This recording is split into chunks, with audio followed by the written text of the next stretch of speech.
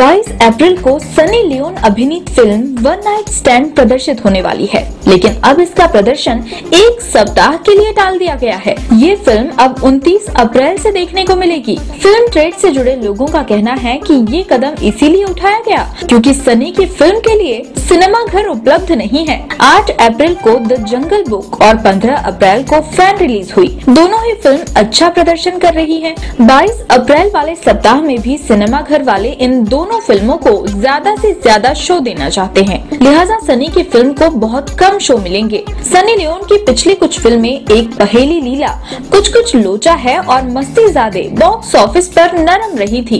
इसी के कारण सिनेमाघर मालिकों की वन नाइट स्टैंड में कम रुचि है।